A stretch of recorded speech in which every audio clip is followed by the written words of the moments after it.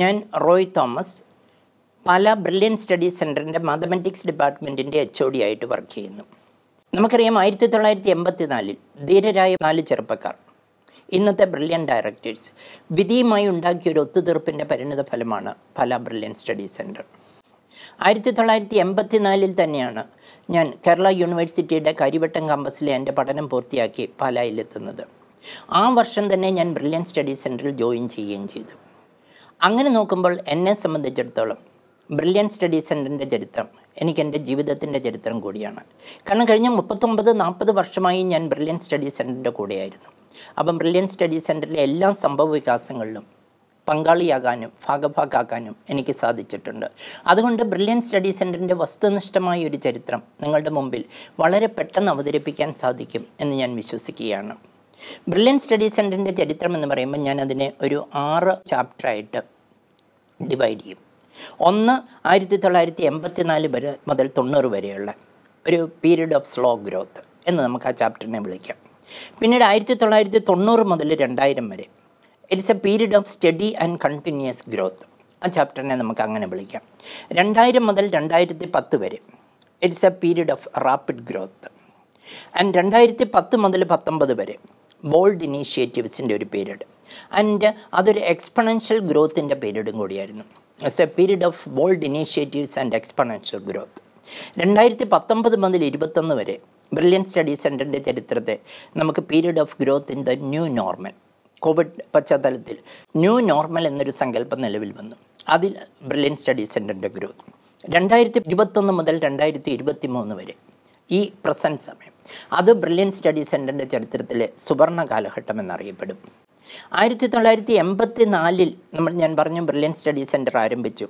അന്ന് പല അൽഫൻസ കോളേജിന് എതിർവശത്ത് ഒരു ചെറിയ കെട്ടിടത്തിൽ ആയിരം സ്ക്വയർ ഫീറ്റ് പോലും ഇല്ലാത്ത ഒരു വാടക കെട്ടിടത്തിൽ ഒരു ട്യൂഷൻ സെന്റർ ആയിട്ടാണ് പല ബ്രില്യൻ സ്റ്റഡി സെന്റർ ആരംഭിക്കുന്നത്. അതിനുശേഷം ആയിരത്തി തൊള്ളായിരത്തി എൺപത്തി നാലിൽ തൊട്ടടുത്തുള്ള സിഗ്മ കോളേജ് എന്ന പേരിൽ പ്രവർത്തിച്ചിരുന്ന സ്ഥാപനം കൂടി വാടകയ്ക്കെടുത്ത് ബ്രില്യൻ സ്റ്റഡി സെന്റർ അതിന്റെ ട്യൂഷൻ ആക്ടിവിറ്റീസ് വികസിപ്പിക്കുകയുണ്ടായി. ആയിരത്തി തൊള്ളായിരത്തി എൺപത്തി ഏഴിൽ long time weekend batches Saturday Sunday മാത്രമുള്ള പ്രീ ഡിഗ്രി സ്റ്റുഡൻസിന് വേണ്ടിയിട്ടുള്ള വീക്കെൻഡ് ബാച്ചസ് ആരംഭിക്കുന്നതോടുകൂടിയാണ് ബ്രില്യൻ സ്റ്റഡി സെന്റർ എൻട്രൻസ് രംഗത്തേക്ക് കടന്നു വരുന്നത്. ആയിരത്തി തൊള്ളായിരത്തി എൺപത്തി എട്ടിൽ ബ്രില്യൻ സ്റ്റഡി സെന്റർ ആദ്യമായിട്ട് റിപ്പീറ്റേഴ്സ് ബാച്ച് അപ്പം ആയിരത്തി തൊള്ളായിരത്തി എൺപത്തി എട്ടിൽ തുടങ്ങിയ ആ റിപ്പീറ്റേഴ്സ് ബാച്ച് സ്റ്റാർട്ട് ചെയ്യുന്നു. ബ്രില്യൻ സ്റ്റഡി സെന്ററിന്റെ ചരിത്രത്തിന്റെ രണ്ടാമത്തെ ചാപ്റ്ററാണ് ആയിരത്തി തൊള്ളായിരത്തി എൺപത്തിനാല് മുതൽ തൊണ്ണൂറ് വരെയുള്ള കാലഘട്ടത്തിൽ ബ്രില്യൻ സ്റ്റഡി സെന്റർ പാലാ മുനിസിപ്പാലിറ്റിയും സമീപ പ്രദേശത്തും മാത്രം അറിയപ്പെടുന്ന ഒരു സ്ഥാപനമായിരുന്നെങ്കിൽ. ആയിരത്തി തൊള്ളായിരത്തി തൊണ്ണൂറ് രണ്ടായിരം ആയിരത്തപ്പോഴത്തേക്കും കോട്ടയം ജില്ല മുഴുവൻ അറിയപ്പെടുന്ന ഒരു സ്ഥാപനമാക്കി ബ്രില്യൻ സ്റ്റഡി സെന്റർ വളർന്നു കഴിഞ്ഞിരുന്നു. ആയിരത്തി തൊള്ളായിരത്തി തൊണ്ണൂറിൽ പല സെന്റ് തോമസ് കോളേജിന് എതിർവശത്തുള്ള സയൻസ് അക്കാഡമി ബിൽഡിംഗ് കൂടി റെന്റിനെടുത്തതോടെ മൂന്ന് കെട്ടിടങ്ങളിൽ ഒരേ സമയം ബ്രില്യൻ സ്റ്റഡി സെന്റർ പ്രവർത്തനം ആരംഭിച്ചു. തൊണ്ണൂറ്റി ഒന്നിലാണ് നമ്മൾ ആദ്യമായിട്ട് നമ്മുടെ സാറ്റലൈറ്റ് കോച്ചിങ് സെന്റർ ആരംഭിക്കുന്നത്. കാഞ്ഞിരപ്പള്ളി സെന്റ് ആന്റണീസ് പബ്ലിക് സ്കൂളിൽ അവിടുത്തെ സ്റ്റുഡൻസിന് എൻട്രൻസ് രംഗത്തേക്ക് കൊണ്ടുവരാനായിട്ട്. അന്ന് ആന്റണി നിരപ്പൽ അച്ഛൻ അഭ്യർത്ഥിച്ചതനുസരിച്ച് സെന്റ് ആന്റണീസ് പബ്ലിക് സ്കൂളിൽ നമ്മുടെ ആദ്യത്തെ സാറ്റലൈറ്റ് കോച്ചിങ് സെന്റർ തുടങ്ങി.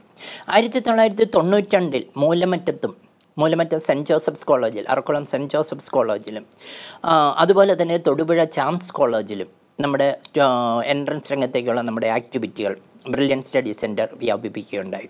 എന്നാൽ ബ്രില്യൻ സ്റ്റഡി സെന്ററിന്റെ ചരിത്രത്തിൽ ഒരു ബ്രേക്ക് ത്രൂ എന്ന് പറയുന്നത് ആയിരത്തി തൊള്ളായിരത്തി തൊണ്ണൂറ്റഞ്ചിൽ C T Kottaram college Marian അരുണാപുരത്തുള്ള C T Kottaram college വാടകയ്ക്ക് കിട്ടുന്നതോടുകൂടിയാണ് അതോടുകൂടി നമുക്ക് നമ്മുടെ റിപ്പീറ്റർ ബാച്ചുകൾ കൂടുതൽ വ്യാപിപ്പിക്കാനായിട്ട് സാധിച്ചു. ആ സമയമായപ്പോഴത്തേക്കും കോട്ടയം ജില്ല മുഴുവൻ അറിയപ്പെടുന്ന ഒരു സ്ഥാപനമായി ബ്രില്യൻ സ്റ്റഡി സെന്റർ മാറി എന്ന് ഞാൻ പറഞ്ഞു. അപ്പം ധാരാളം സ്റ്റുഡൻസ് വന്നു. ആയിരത്തി തൊള്ളായിരത്തി തൊണ്ണൂറ്റി എട്ടിലായപ്പോഴത്തേക്കും നമുക്ക് എൻട്രൻസ് ടെസ്റ്റ് നടത്തി റിപ്പീറ്റർ ബാച്ചിലേക്ക് അഡ്മിഷൻ കൊടുക്കേണ്ടി ഞാനിപ്പോഴും കൃത്യമായിട്ട് ഓർക്കുന്നുണ്ട്. നമ്മൾ എൻട്രൻസ് ടെസ്റ്റ് കൊട്ടാരം കോളേജിൽ ഒരു എൻട്രൻസ് ടെസ്റ്റ് നടത്തിയായിരുന്നു നമ്മൾ ആവശ്യമുള്ള സ്റ്റുഡൻസിന് എല്ലാവരെയും നമുക്ക് അക്കോമഡേറ്റ് ചെയ്യാൻ പറ്റുന്നില്ലായിരുന്നു.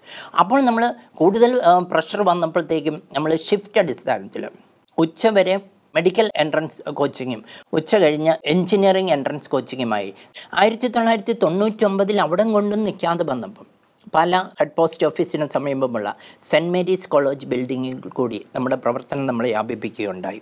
അങ്ങനെ ആയിരത്തി തൊള്ളായിരത്തി തൊണ്ണൂറ് രണ്ടായിരം കോട്ടയത്തും കോട്ടയത്തിനടുത്തുള്ള ജില്ലകളിലും അറിയപ്പെടുന്ന ഒരു സ്ഥാപനമായി ബ്രില്യൻ സ്റ്റഡി സെന്റർ വളർന്നു കഴിഞ്ഞു. ഇനി നമ്മുടെ മൂന്നാമത്തെ ചാപ്റ്ററിലേക്ക് വരുമ്പം രണ്ടായിരം മുതൽ രണ്ടായിരത്തി പത്ത് പത്ത് വർഷത്തെ. അത് ഒരു പീരീഡ് ഓഫ് റാപ്പിഡ് എക്സ്പാൻഷൻ എക്സ്പാൻഷനായിരുന്നു രണ്ടായിരത്തിലായപ്പോഴത്തേക്കും നമ്മൾ നമ്മുടെ സാറ്റലൈറ്റ് കോച്ചിങ് സെന്ററുകൾ തെങ്ങണയും ഗുഡ്ഷപ്പേഡ് പബ്ലിക് സ്കൂളിലും അതുപോലെ ചെത്തിപ്പുഴ പ്ലാസ്റ്റഡ് വിദ്യാവിഹാറിലും ഒക്കെ നമ്മൾ എൻട്രൻസ് കോച്ചിങ് ക്ലാസ്സുകളിലുമായിട്ട് നമ്മൾ കടന്നു ചെല്ലുകയുണ്ടായി. രണ്ടായിരത്തി നാലിൽ നമ്മൾ ആദ്യമായിട്ട് ഒരു എംബളം ബ്രില്യൻ സ്റ്റഡി സെന്ററിന്റെ ഇന്ന് കാണുന്ന എംബളം അതിൽ ഒരു ആദ്യത്തെ ഫോം അതിൽ അല്പം മാറ്റം വരുത്തിയാണ് ഇന്ന് കാണുന്ന നമ്മുടെ എംബ്ലം നമ്മൾ ഡിസൈൻ ചെയ്യുന്നത്. രണ്ടായിരത്തി അഞ്ചിൽ നമ്മളെ സംബന്ധിച്ചിടത്തോളം ബ്രില്യൻ സ്റ്റഡി സെന്ററിന്റെ ചരിത്രത്തിലെ ഒരു നാഴികക്കല്ലാണ്. കാരണം അന്നാണ് ആദ്യമായിട്ട് ഒരു ഫസ്റ്റ് റാങ്ക് ബ്രില്യന്റിലെത്തുന്നത് രണ്ടായിരത്തി അഞ്ചിൽ നിന്നോയ് കല്ലമ്പള്ളി എഞ്ചിനീയറിംഗ് എൻട്രൻസിൽ ഫസ്റ്റ് റാങ്ക് വാങ്ങിയതോടുകൂടി. ബ്രില്യൻ സ്റ്റഡി സെന്ററിന്റെ പ്രശസ്തി കേരളം മുഴുവൻ അറിയപ്പെടാൻ തുടങ്ങി. അപ്പം ഈ ഒരു രണ്ടായിരം രണ്ടായിരത്തി പത്ത് കാലം എന്ന് പറയുന്നത് ബ്രില്യന്റ് കേരളം മുഴുവൻ ശ്രദ്ധിക്കുന്ന ഒരു സ്ഥാപനമായിട്ട് മാറിക്കഴിഞ്ഞിരുന്നു. അതുപോലെ അർജുൻ ബാലകൃഷ്ണൻ മെഡിക്കൽ എഞ്ചിനീയറിംഗ് എൻട്രൻസിൽ സെക്കൻഡ് റാങ്ക് മാറി. രണ്ടായിരത്തി അഞ്ചിലാണ് നമ്മൾ ആദ്യമായിട്ട് ഒരു പേപ്പറിൽ ഒരു അഡ്വർടൈസ്മെന്റ് കൊടുക്കുന്നത്. രണ്ടായിരത്തി ആറിൽ അതേപോലെ തന്നെ ഇമ്പോർട്ടന്റ് ആണ് ബ്രില്യൻ സ്റ്റഡി സെന്ററിനെ സംബന്ധിച്ചിടത്തോളം. മുത്തോലി കാമ്പസ് നമുക്ക് ഉദ്ഘാടനം ചെയ്യാൻ പറ്റിയത്. സ്വന്തമായ ഒരു കാമ്പസ് നമുക്ക് ഫസ്റ്റ് റാങ്ക് കിട്ടിയിട്ടും ബ്രില്യൻ സ്റ്റഡി സെന്ററിന് സ്വന്തമായി ഒരു കാമ്പസ് ഇല്ലായിരുന്നു. അത് തീർച്ചയായിട്ടും ഒരു കുറവായിരുന്നു എന്ന് നമ്മുടെ ഡയറക്ടർമാർ മനസ്സിലാക്കിയതിന്റെ പരിണിത ഫലമായി നമ്മൾ മുത്തോലിയിൽ സ്ഥലം വാങ്ങി സ്വന്തമായി കെട്ടിടം വെച്ച് മുത്തോലിയിൽ ഇപ്പോഴത്തെ എ ബ്ലോക്ക് ഇപ്പോഴത്തെ ബ്രില്യൻ സ്റ്റഡി സെന്ററിന്റെ എ ബ്ലോക്ക് രണ്ടായിരത്തി ആറിൽ നമുക്ക് മുത്തോലി ക്യാമ്പസ് ഉദ്ഘാടനം ചെയ്യാൻ പറ്റി. രണ്ടായിരത്തി ഒമ്പതായപ്പോഴത്തേക്കും ബ്രില്യൻ സ്റ്റഡി സെന്റർ തുടങ്ങിയിട്ട് ഇരുപത്തഞ്ച് വർഷമായി. സിൽവർ ജൂബിലിയായി രണ്ടായിരത്തി ഒമ്പതിൽ നമ്മൾ സിൽവർ ജൂബിലി വളരെ വിപുലമായി ആഘോഷിക്കുകയുണ്ടായി. ആൻഡ് മുത്തോലി കാമ്പസും പാലാരൂപതയുടെ ബിഷപ്പ് ജോസഫ് പള്ളിക്കാപ്പറമ്പിൽ തിരുമേനിയായിരുന്നു ബ്ലസ് ചെയ്ത് ഉദ്ഘാടനം ചെയ്തത്. രണ്ടായിരത്തി ഒമ്പതിൽ സിൽവർ ജൂബിലി അതും പാലാരൂപതയുടെ അഭിമന്യ ബിഷപ്പ് ജോസഫ് കല്ലറങ്ങാട്ട് പിതാവാണ് സിൽവർ ജൂബിലി ഉദ്ഘാടനം ചെയ്തത്. അപ്പം ആ വർഷം ആയപ്പോഴത്തേക്കും എല്ലാ വർഷവും നമുക്ക് റാങ്കുകൾ എഞ്ചിനീയറിങ്ങിനും മെഡിക്കലും എല്ലാം ഫസ്റ്റ് റാങ്കും സെക്കൻഡ് റാങ്കും.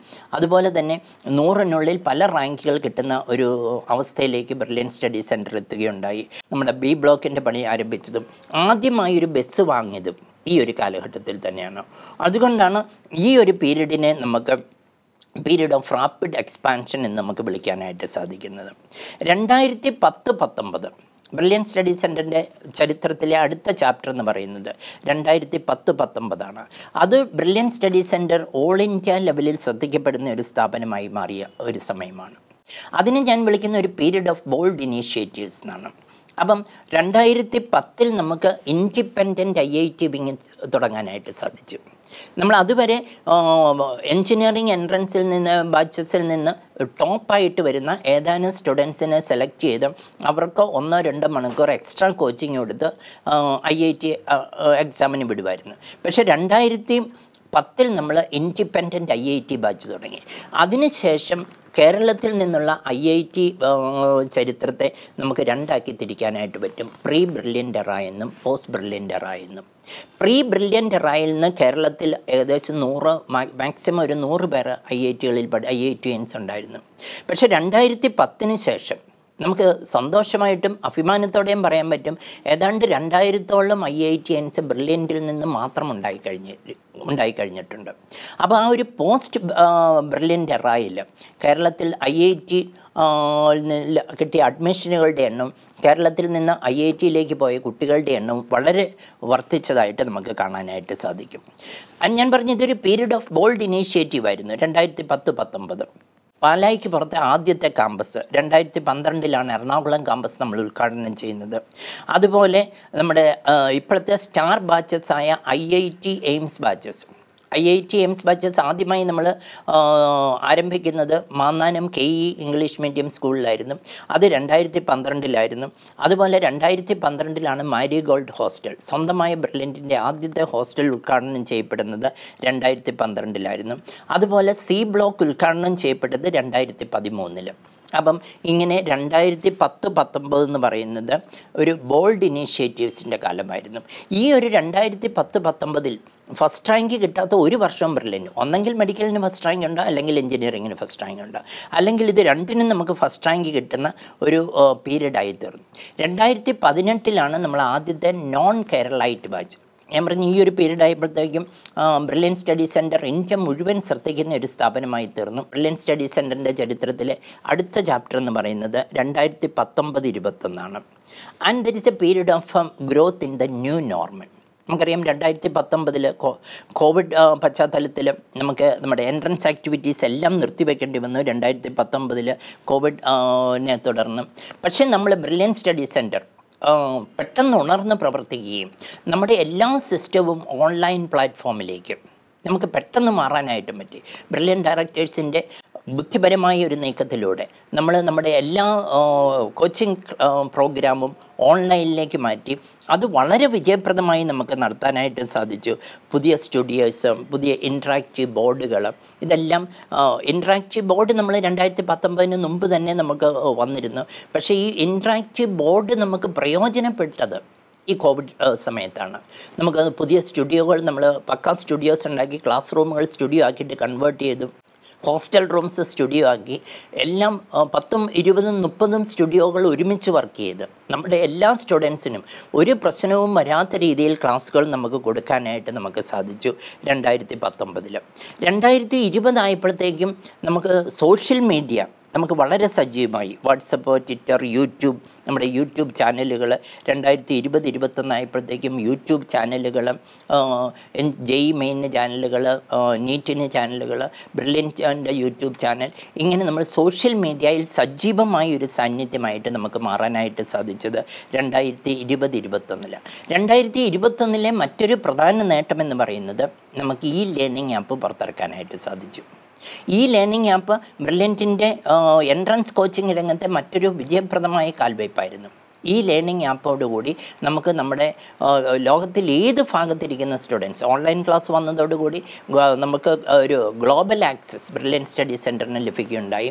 ഈ ഓൺലൈൻ ക്ലാസ്സസ് വന്നതോടുകൂടി മലയാളികളല്ലാത്തവർ പോലും ബ്രില്യൻ സ്റ്റഡി സെന്ററിനെ ശ്രദ്ധിക്കുന്ന ഒരു സ്ഥാപനമായി രണ്ടായിരത്തി ഇരുപത് ഇരുപത്തൊന്നിലേക്ക് മാറി.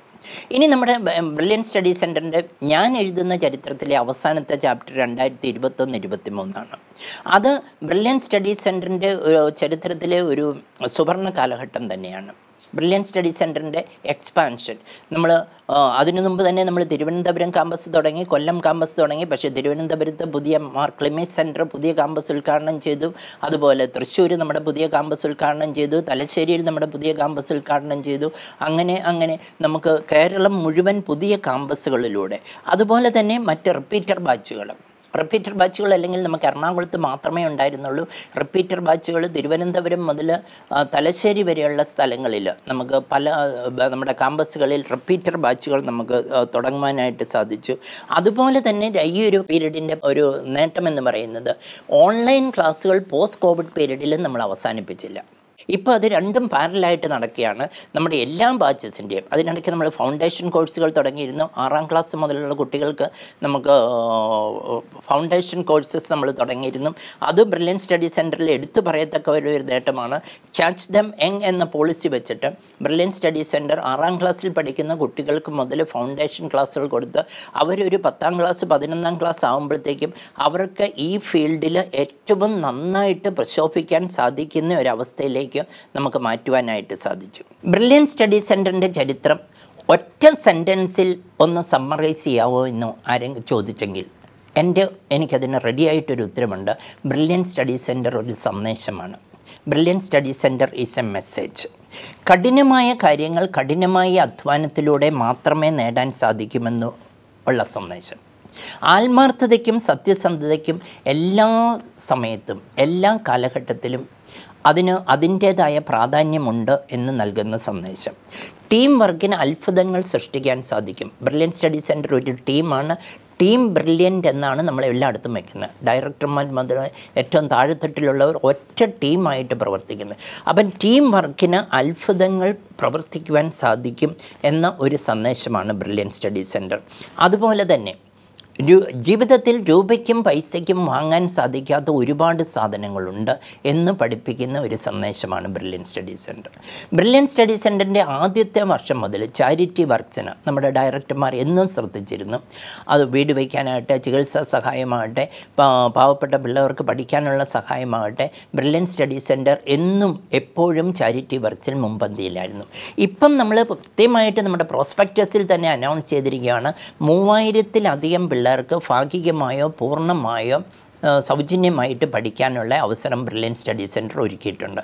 അത് കൂടാതെ തന്നെ അത് ചികിത്സാ സഹായ പദ്ധതി ഭവന നിർമ്മാണ പദ്ധതി ഇങ്ങനെയുള്ള എല്ലാവിധമായ ചാരിറ്റി ആക്ടിവിറ്റീസിലും ബ്രില്യൻ സ്റ്റഡി സെന്റർ ഇടപെടുന്നുണ്ട്. ഞാൻ പറഞ്ഞ ഏറ്റവും പ്രധാനപ്പെട്ട കാര്യം ഇതാണ്.